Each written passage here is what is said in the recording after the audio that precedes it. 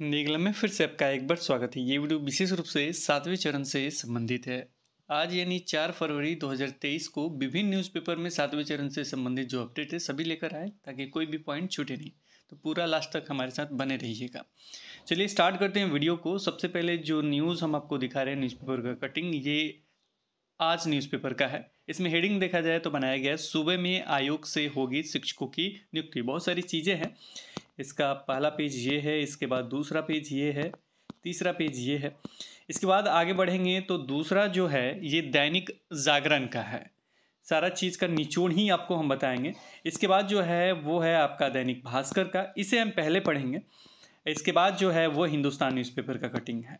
सभी में एक ही चीज़ है, एक चीज़ पहले आपको क्लियर कर दे, किसी भी न्यूज़पेपर में ये चीज़ नहीं दिया गया है कि इस डेट को, चाहे इस कैबिनेट के बैठक में आपका मतलब फाइनल हो जाएगा, निमाली बाहर आ जाएगा। लेकिन ऐसा लग रहा है, पहले से भी शिक्षा मंत्री जी द्वारा कहा गया है कि फरवरी में मिल जाएगा, को पूरा एकजुट रहिए, एक मंच पे रहिए और ज़्यादा उल्टा सीधा मत लिखिए, बस पॉजिटिव रहिए और केवल और केवल निमाली लेने के चक्कर में रहिए, कि निमाली हमें मिल जाए। और इसके बाद बहाली के लिए तो साथ रहिएगा। इसमें बहाली के बारे में भी दिया गया है, जल्द स्टार्ट होगा, लेकिन उस पर हम कुछ बोलेंगे नहीं। स्टार्ट होना चाहिए जल्द से जल्द, बहुत तेज़ी से स्टार्ट होना चाहिए। रिक्ति वगैरह के बारे में भी बताया गया, पूरा अपडेट जानेंगे। फ़िलहाल यहाँ से हम पढ़ते हैं। अभी जो हुआ है, जो पहले के वीडियो में भी हमने बताया है, एक आवेदन होगा, सारा चीज़ वही लगभग है। और अड़तीस ज़िला में अब अड़तीस ज़िला मतलब एक तरह से कहा जाए कि एक संस्था या किसी को भी एक दे दिया जाएगा, जो इसको देखेगा, एक आयोग को दे दिया जाएगा, जो इसको देखेगा। अड़तीस स्तर पे देखेगा। पहले क्या होता था कि 9,222 नियोजन इकाइयाँ थीं और सभी जगह भटक भटक के आवेदन करना पड़ता था बहुत सारी चीज़ें करना पड़ता था कभी ये कार्य नहीं हुआ कभी वो कार्य नहीं हुआ। अब क्या हुआ कि अड़तीस ज़िला है अड़तीसों ज़िला में वो सारी चीज़ देखा जाएगा। तो बहुत अच्छा है बहुत तेज़ी से कार्य भी होगा और बहुत आसानी से कार्य होगा। अभ्यर्थी को भी परेशानी नहीं होगी ऊपर से शिक्षा विभाग को भी कोई परेशानी नहीं होगी। फ़िलहाल यहाँ पे सब हेडिंग पहले पढ़ते हैं। अड़तीस जिलों की 9,222 नियोजन इकाइयाँ अब हो जाएगी बेमतलब। शिक्षकों का सीधा नियंत्रण शिक्षा विभाग का होगा पंचायत एवं नगर निकायों का अधिकार खत्म यानी समाप्त। जो भर्ती आने वाली है दो लाख से अधिक आने वाली है। ये हेडिंग बनाया गया दो लाख से अधिक शिक्षकों की भर्ती अब आयोग से नगर निकाय पंचायत से नहीं अब आयोग से होगा। आयोग कोई भी हो सकता है। इसमें लिखा भी गया पुरानी व्यवस्था खत्म होगी जिला जिला ही शिक्षकों का कैडर होगा। फर्जी सर्टिफिकेट के आधार पर कई शिक्षकों के बहाल होने की फजीयत झेल रहे शिक्षा विभाग ने अब शिक्षकों की नियुक्ति की पूरी प्रक्रिया बदलने का निर्णय किया है।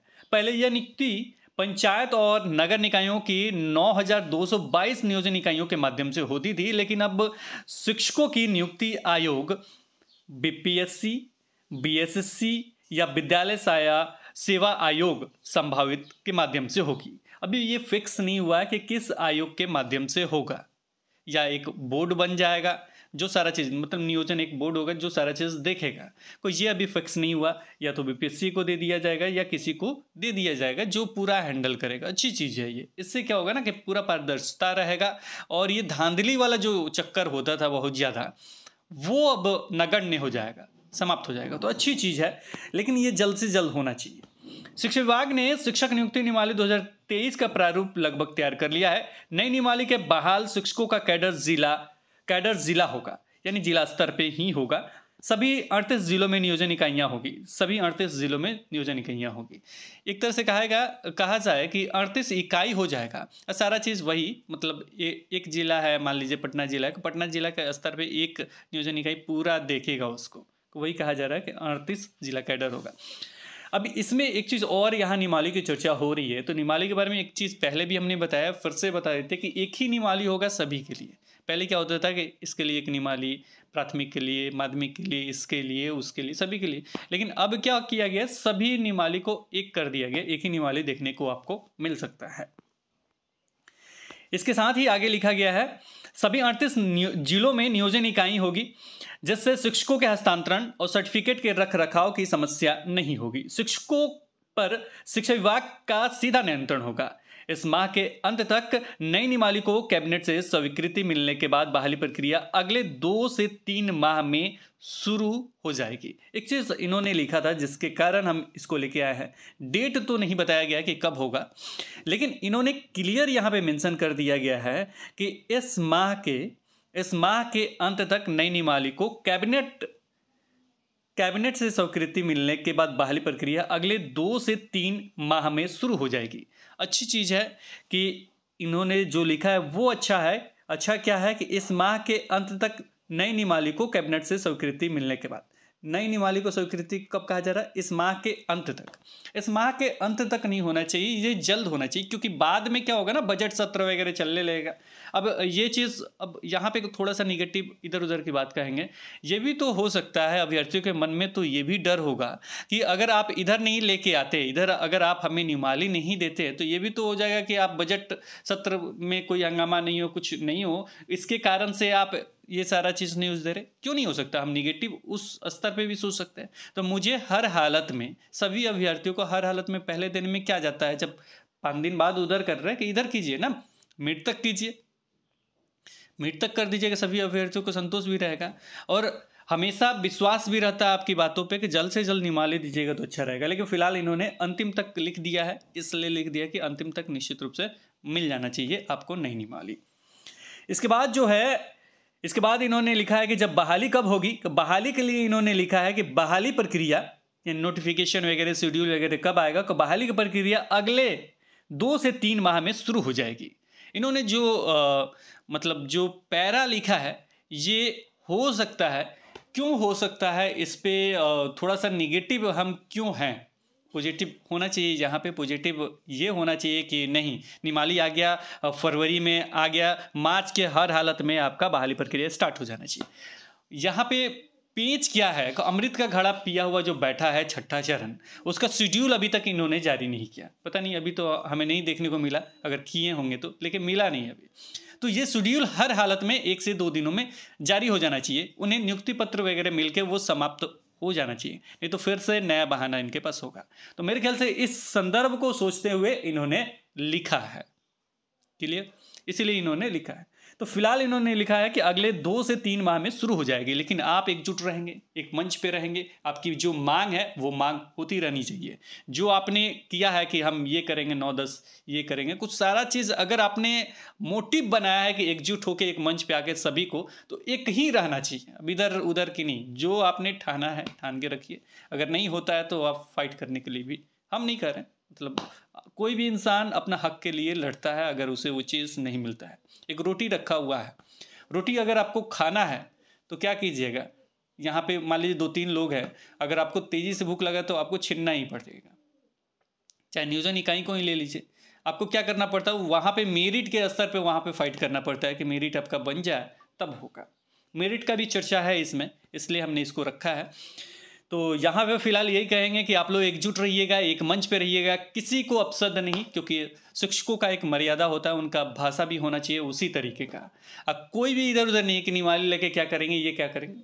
भाई, एक ही बार हम बता दें कि सातवां चरण जो एस्टेट 2019 के अभ्यर्थी हैं, बहुत मुश्किल से माने थे, कह रहे थे डायरेक्टर कि हमको नियुक्ति पत्र दे दो, मेरे मेरिट बन गया। यही कहते भी हैं आज के डेट में भी। देखिए, हर चीज़ का हर स्टेप बाय स्टेप हर का कार्य होता है। सभी चीज़ का क्या होता है? कार्य होता है धीरे धीरे स्टेप बाय स्टेप होता है। डायरेक्ट नहीं मिलता, आपका वेरिफिकेशन होगा काउंसलिंग होगा, सारा चीज़ होता है, उसके बाद आपका होगा। अब सर्टिफिकेट मिल गया तो शांति है कि हाँ सर्टिफिकेट मिल गया, सारा चीज़ होगा। ये चीज़ है। तो इसी तरीके से हर कार्य के लिए सबसे पहले आपको क्या चाहिए? आपको निमाली चाहिए। निमाली के बाद कीजिए ना। जल्द से जल्द इसे ले लीजिए, उसके कीजिए। क्योंकि सातवां जो चरण होगा, वो निमाली पे भी बेस्ट होगा। चलिए इधर उधर की बातें से अच्छा है, इससे देखा जाएगा। दो तीन माह में शुरू हो जाएगी। सबसे पहले हाई स्कूलों में 1.22 लाख शिक्षकों की नियुक्ति होगी। फिर प्रारंभिक स्कूलों में अस्सी हज़ार दो सौ संतावन शिक्षकों की बहाली होगी। शिक्षा विभाग का लक्ष्य है कि 2023-24 में शिक्षकों के रिक्त पदों पर बहाली कर ली जाए। बहुत अच्छी बात है। 2023-24 में ही नहीं। इन्हें क्या करना चाहिए? जून से पहले तक शिक्षकों की भर्ती बहाली प्रक्रिया 2023 जून से पहले तक बहाली प्रक्रिया पूर्ण कर लेना चाहिए। गर्मी की छुट्टी से पहले या गर्मी की छुट्टी तक कर लेना चाहिए। क्योंकि जब ये शिक्षक हाई स्कूल वाले, चाहे प्राइमरी वाले, जब जाएँगे ना तो शिक्षक मिल जाएँगे। उस समय भी एक देखा जाता है कि बच्चे जो होते हैं, नए स्टेप में, नए सेशन की तरह वो आते हैं। तो उस समय तक निश्चित रूप से कर लें, पूरा प्रक्रिया कर लें। क्योंकि जैसे ये प्रक्रिया अगर स्टार्ट करते हैं, होने में देरी नहीं रहेगा। अगर ये बीपीएससी को दे दो, किसी भी आयोग को दे दे, ये होने में तेज़ी इतना तेज़ी से कार्य होगा, आपको समझ में नहीं आएगा, तीन महीने के अंदर आप शिक्षक बन जाएँगे। लेकिन अगर शिक्षा विभाग चाहे तो हमने कहा चाहे तो निश्चित रूप से आप शिक्षक बन जाएँगे।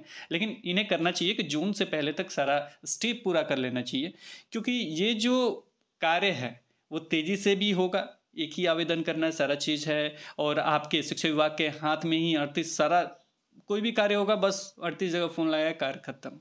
ऐसे नहीं है कि नौजर लिखते रहिए, इस नियोजन इकाई को लिखते रहिए, उस नियोजन इकाई वैसे नहीं होगा, अड़तीस जगह फ़ोन लगाया कार्य खत्म, और अपना कार्य शुरू होगा उन्हें तो फ़ोन भी करने की ज़रूरत नहीं होगा, एक बार बिसी होगा, सारा कार्य हो जाएगा।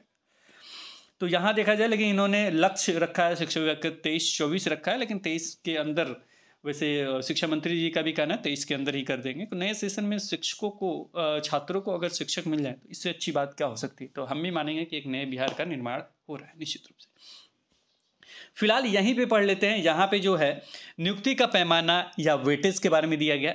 वैसे अभी तक ये खुलासा नहीं हुआ है। हम अपने तरफ़ से कुछ भी अभी कहना नहीं चाहते, क्योंकि तुरंत ये इधर उधर वाला फाइट होने लगता है। लेकिन फ़िलहाल इसमें जो लिखा गया, वो हम आपको बता देते हैं। बीटेड सीटेड और एसटीटी के रिज़ल्ट में मिले अंकों के आधार पर 60 प्रतिशत का वेटेज की बात कहा गया। शैक्षणिक और प्रशैक्षणिक योग्यता मैट्रिक से पीजी डीएलएड बीएड वगैरह, ये 40 प्रतिशत का वेटेज है। ये पुराना वाला वीडियो होगा, उसमें पूरा अच्छे तरीके से हमने बताया कि प्राइमरी का ये, माध्यमिक का ये, उच्च माध्यमिक का ये, उसके ऊपर ये। तो ये ये पहले भी हमने बताया। अंतिम तौर पर लेकिन इन्होंने एक और चीज़ लगाया है यहाँ पे।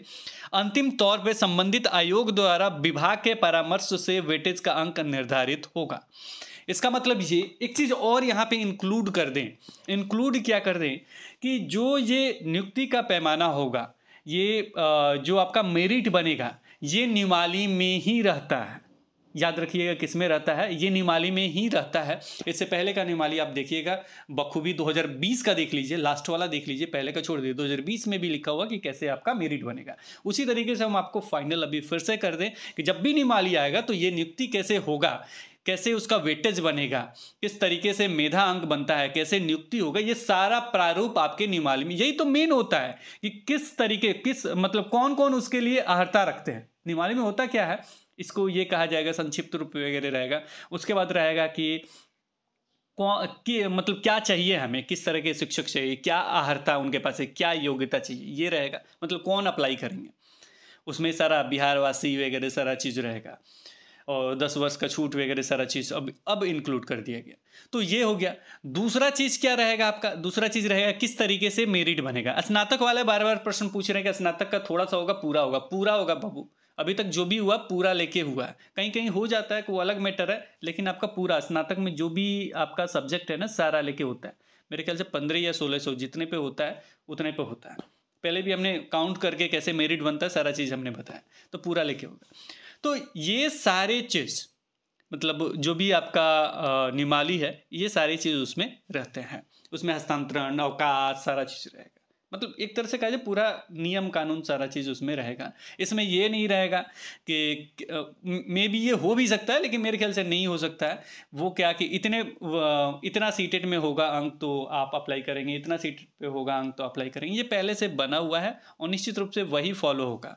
अगर बीटेड में जितना उत्तीर्ण कहा गया है, उस पर भी हमारा वीडियो अलग से बना हुआ उसे देख लीजिए, कितना उत्तीर्ण कहा गया है। दस वर्ष छूट मिलेगा, उस पर भी उम्र सीमा छूट पर हमारा वीडियो बना हुआ है। उसे सर्च कीजिएगा लास्ट में हिंदी क्लब लिखिएगा उससे संबंधित वीडियो मिल जाएगा। वही सारी चीज़ रहेंगे। फ़िलहाल यहाँ पे जो संशय भरा है, वो अभी रहेगा। इस पर हम अपनी तरफ़ से कुछ कहने वाले नहीं हैं, क्योंकि बहुत ज़्यादा इधर उधर होने लगता है। फ़िलहाल इसको ऐसे ही रहने दीजिए, लेकिन इन्होंने लिखा है ये।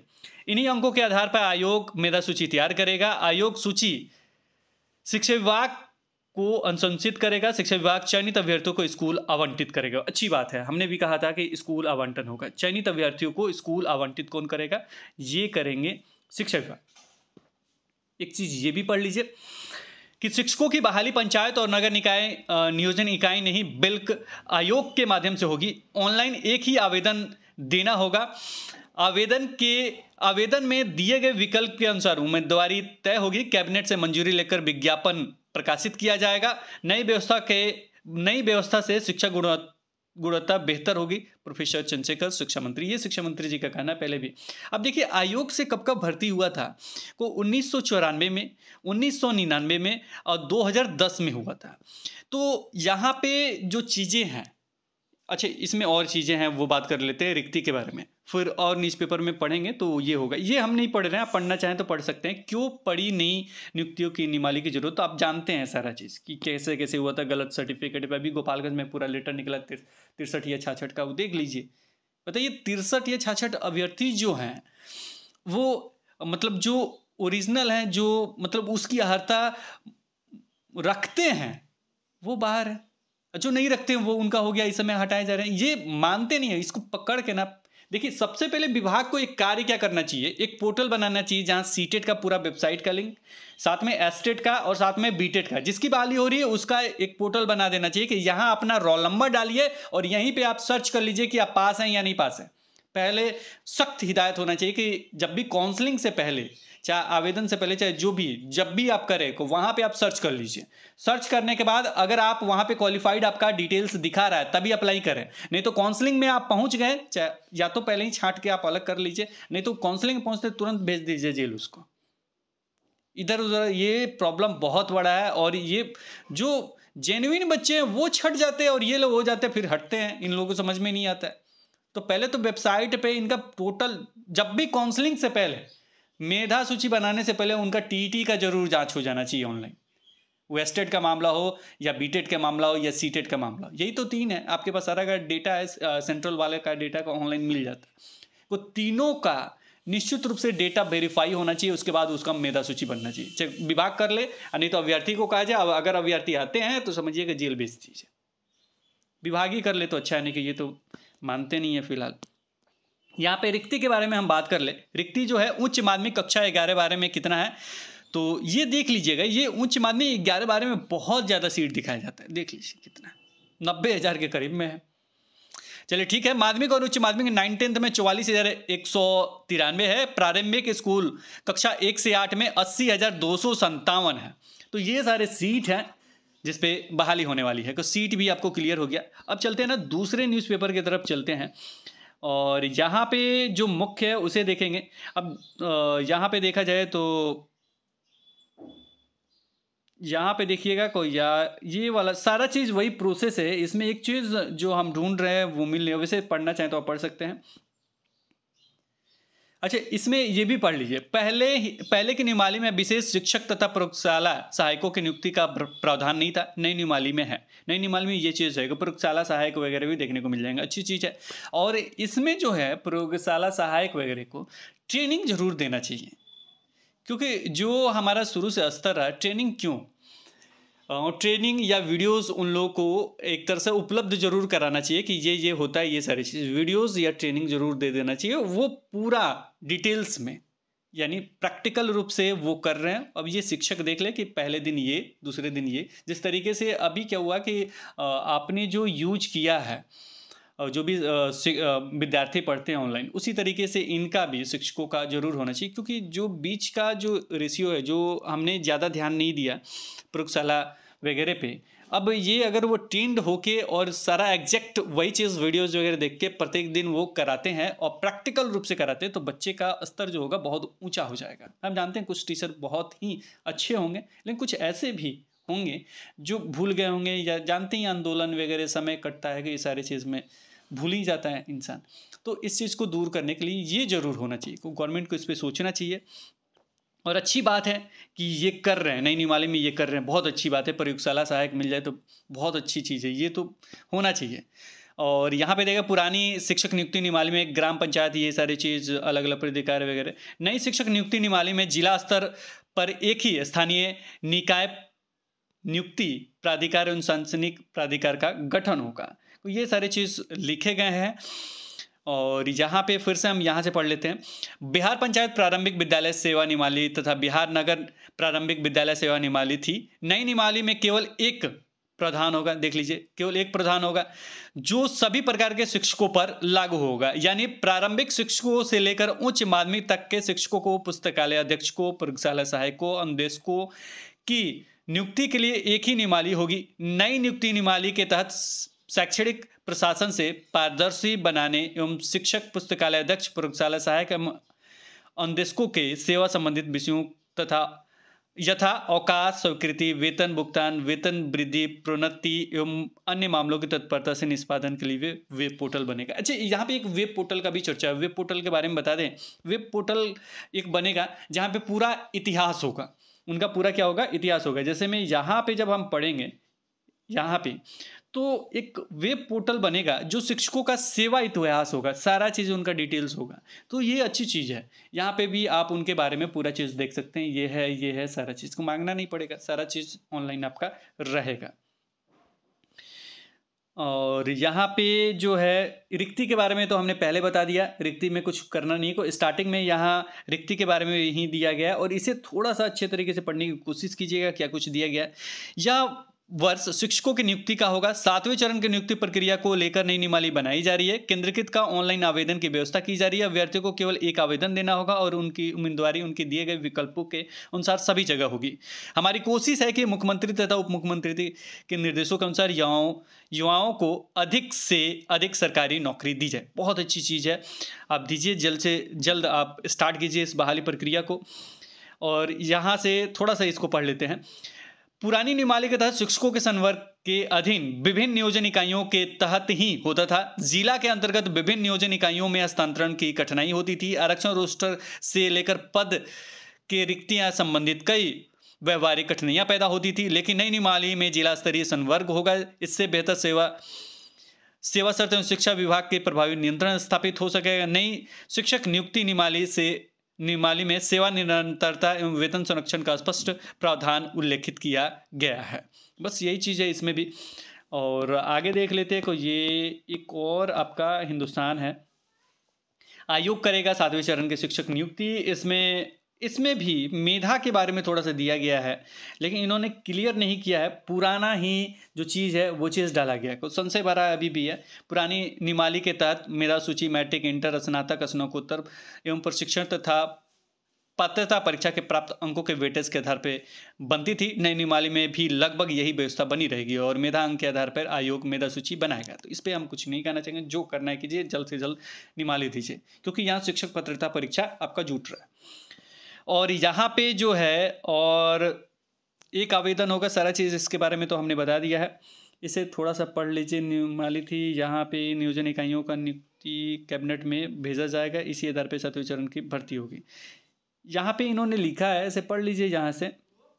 सरकार शिक्षक नियुक्ति प्रक्रिया में बड़ा बदलाव करने जा रही है। शिक्षक नियोजन का अधिकार पंचायतों एवं नगर निकायों को से वापस लिया जाएगा। पुरानी शिक्षक नियुक्ति निमाली के तहत इतना नियोजन इकाइयाँ थी, जबकि प्रस्तावित निमाली में नियोजन इकाइयों की संख्या, जिलों की संख्या ये कम हो गई, अड़तीस हो गई। केवल एक ही आवेदन करना होगा, जबकि पहले एक अभ्यर्थी को कई आवेदन वगैरह करना चाहता था। ये सारी चीज़ें हैं। कुछ खास नहीं हमें दिख रहा अभी। क्यों पड़ी ज़रूरत? हमें पता है कि पहले क्या था? अभी चलिए, ये हो गया, ये पढ़ लिया हमने, अब ये बच गया आपका आज न्यूज़पेपर आज न्यूज़पेपर का जो मुख्य बिंदु है, वो पढ़ लीजिए।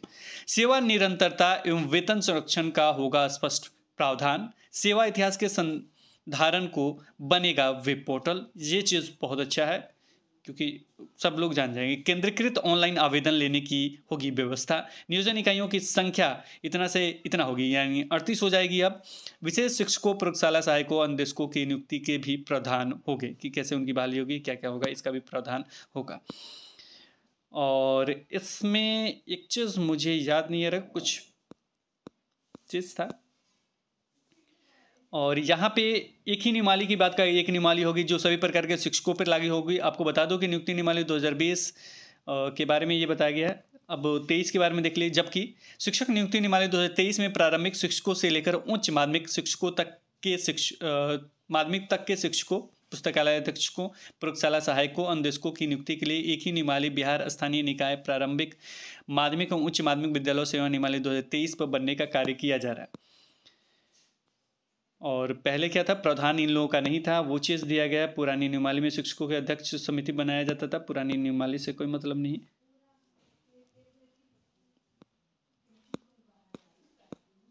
चलिए, नहीं होगा तो एक अलग से आपको शाम तक वीडियो देने की कोशिश किया जाएगा। और कोई भी त्रुटि वगैरह मेरे ख्याल से इसमें नहीं होगा, पारदर्शी तरीके से होगा, आवेदकों को केवल एक आवेदन देना होगा तथा उनकी उम्मीदवारी के दिए गए विकल्पों के अनुसार सभी हाँ यहाँ पे यही चीज़ हमें पढ़ना था, मिल गया।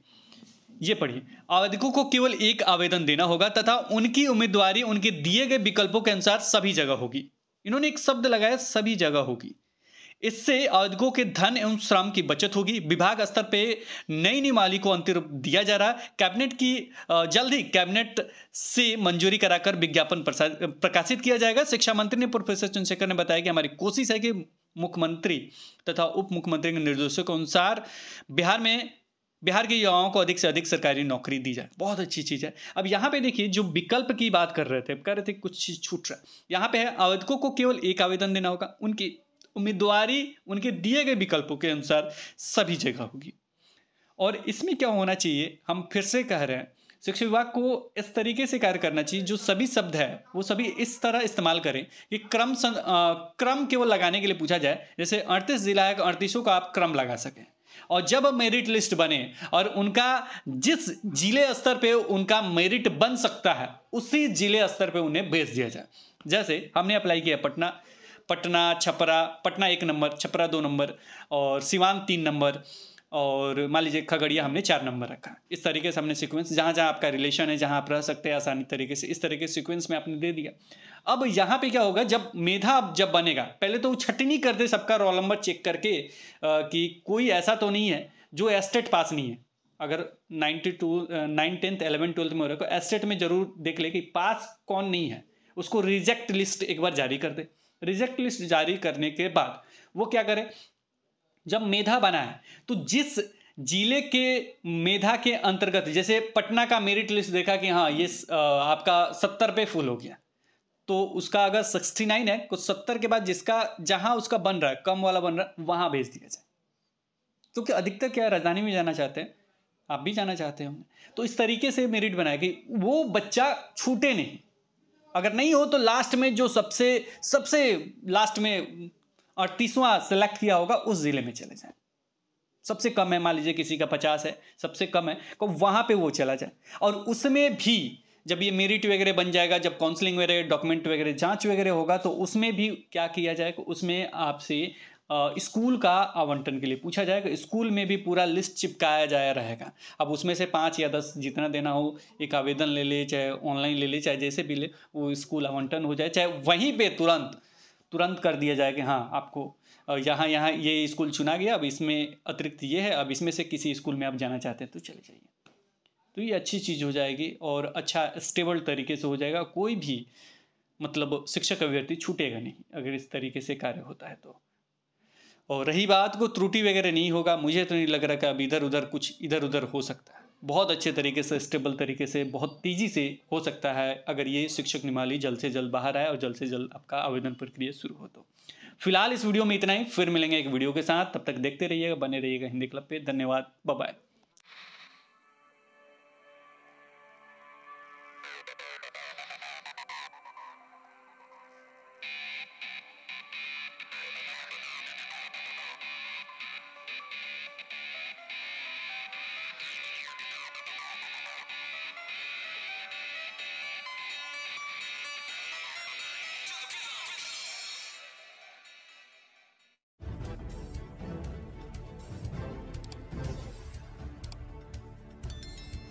सब्सक्राइब कीजिए हिंदी क्लब को। दबाइए इस बेल आइकॉन को ताकि हमारा वीडियो आपको मिले सबसे पहले।